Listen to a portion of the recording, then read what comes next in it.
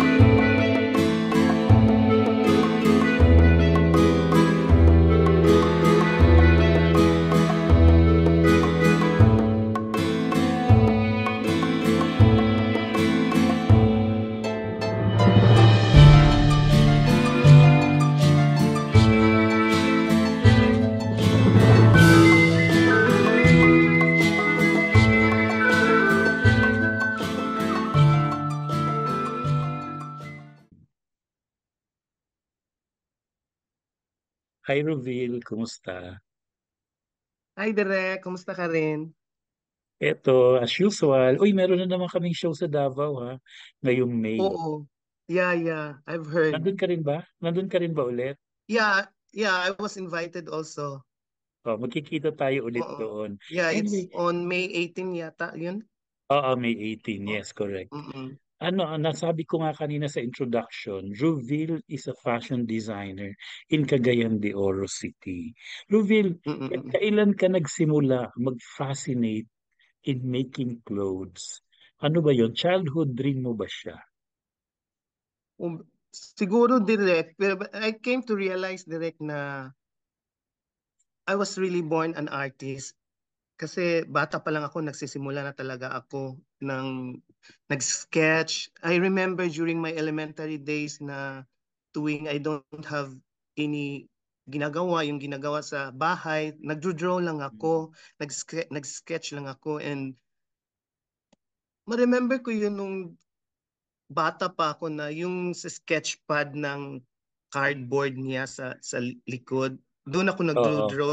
Uh, I shape uh, sa uh, babae, katawan ng babae, and then I cut it out, and then uh, kumukuha ako ng coupon band, tapos pinu, uh, pinufold ko na into half, tapos tinitrace ko yung shape ng body ng babae, tsaka saka ko nilalagyan ng ng design design yung coupon band, tapos Oo. ginidrawing ko na ng damit, tapos kinakat out ko, tapos i, i, i ililalagay ko dun sa cardboard na babae na na shape ko. Tapos dun, yun, yun ang mga uh, nakagawian Doon ko parang nung bata pa simula. ako. O, o Doon doon nagsimula. nagsimula. Oo. Oo, oo, oo. Bata ka Then, pa noon, bata pa. Kasi, yeah, drawing elementary days, pad I ka remember pa. grade 5 direct. Grade 5 ako. Oo. Oh, so bata pa Mm-mm. talaga. Nasa isip mo na Oo. siya. Pero, Yeah. Ruvil, moving forward to who you are now, kung sino man si Ruvil Mm-mm. Neri, ano ba ang linya ni Ruvil Neri? Saan ka kilala? Ako nakakilala nakilala ako for as a fashion designer kasi I go for I specialize more on formal wears o for men and women direct. So doon ko na doon yung forte ko sa mga formal wears na like mga cocktails, uh, suits and Mhm. like evening gowns. So doon siguro ako nakilala as Ruville Neri sa mga ginagawa ko mga collections. Oo. Pero Ruville, sino ba ang client ni Ruville Neri? Who is the Ruville Neri client? Sa tagal ko sa industry dito direct hindi ko na ma, ma, ma, ma kung sino-sino but meron uh, uh, usually ako hindi ako namimili ng client kasi direct eh. Uh, when they go to my shop and then they want to have their design so sinasabi ko sa kanila uh, magkano ba yung budget mo magkano ba yung kaya nyo oo kasi kasi eh, I'm not I'm not judging them but Oo pero naman, oo, oo. oo, pero nakikita mo yung mga personalidad nila, yung the way they look and the way they cut. So parang sabi ko parang gusto lang siguro itong mag magkuha ng mga idea. So sinasabi ko sa Oo. kanila nga Oo. ah, so tuwing tuwing pumupunta sila sa sinabi nila yung gusto ko ng ganito, gusto ko ng ganito, an ganyan, ganyan. Sabi nila, magkano ba yan? Oo. So Siyempre, tina, tinatanong ko rin kung magkano ba yung budget niyo? So, Oo, tama. Oo, tama. Oo. Totoo yan.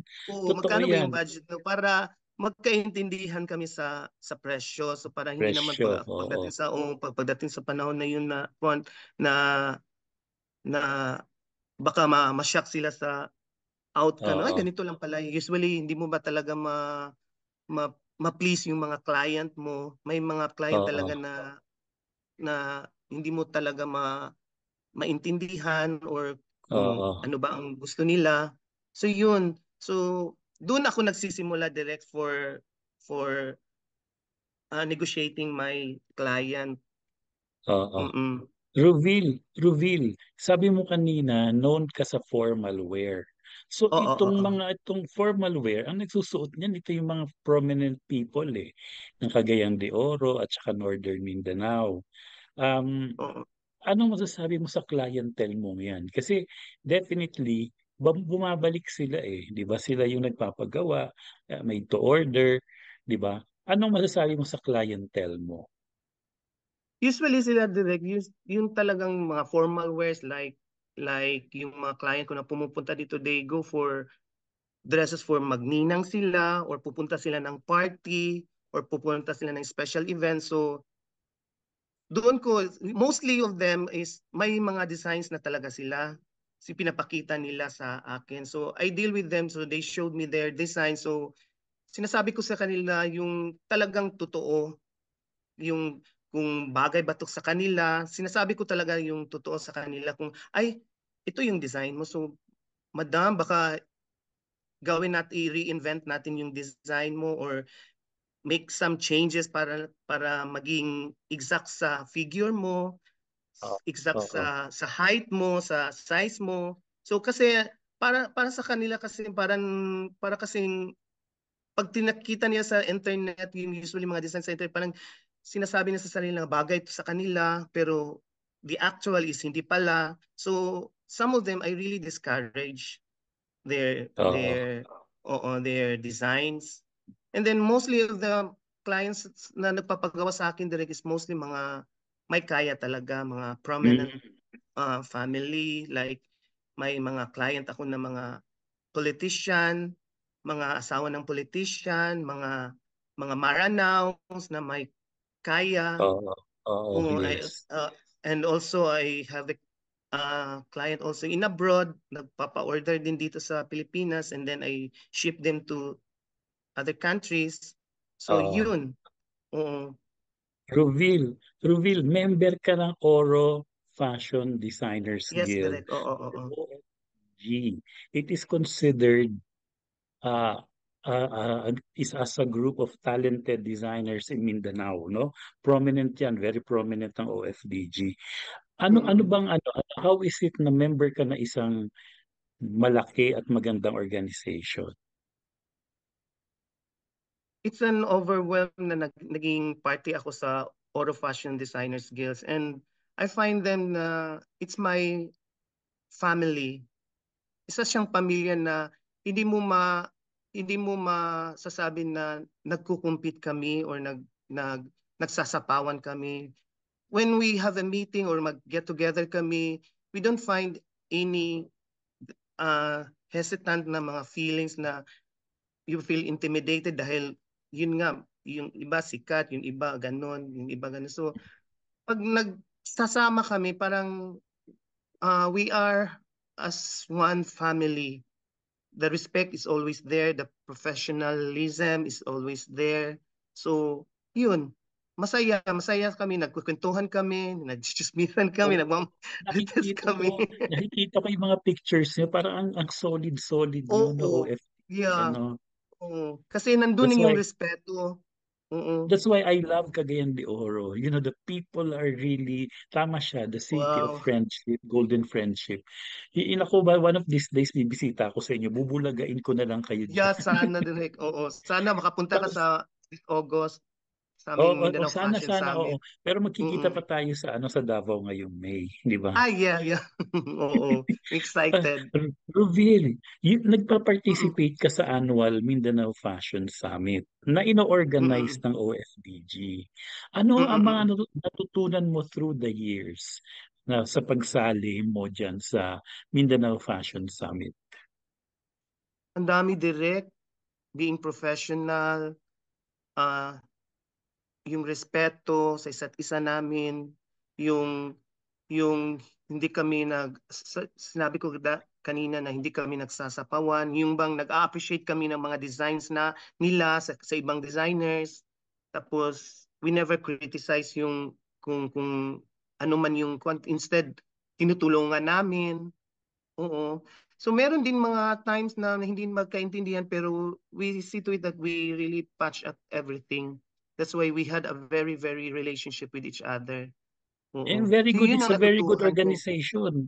Your organization mm-hmm. is one of the most solid and the most prominent there in Mindanao. Kaya nakakatuwa yeah, kayo kasi makikita ko na lang nagdi-dinner kayo, saya-saya ninyo, Oo. nagmi-meeting mm-hmm. kayo, saya-saya ninyo. 'Di ba sana laging ganun na lang, no, laging masaya lang, mm-hmm. laging ano. Lahat sana naman na iron out, kung may, may differences na iron out naman 'yan eh, 'di ba? Anyway, reveal. You also deal with models. Actually, may models ka, di ba? Sa'yo yung models and queens, um, management, MAQ. Oo. Oo, management. MAQ. Oo. oo. Ano bang so far? I don't want to deal I, I don't want to deal do sa mga bad experiences. Kumusta? Yeah, yeah. Oo, kumusta ang ang iyong MAQ? Masaya direct. Kasi we another have a, another family na may pinagka bisihan ka uh, masaya lahat. Especially the parents are very cooperative sa sa sa management. Hindi sila nagbibigay ng yung tension. So everything's doing fine and everything's doing well sa models and queens management masaya kami Oo. direct and and I don't find them yung may mga uh, ano ba yung tinatawag na mga prima donnas, mga ganun. Oo. Wala. Kasi I, I have a personality development with them, yung pagiging professional, yung relationship with the co-models, as well as the productions, as well as the the makeup artist, uh, ginaguide talaga namin sila. So, and it really come out very positively So, Oo nga, masaya kami nakikita direct. ko. Oo. Ang dami mong pictures sa workshop mo. Nakikita ko yung Oo, oo. workshop. So, ito ngayon, ito ngayon reveal.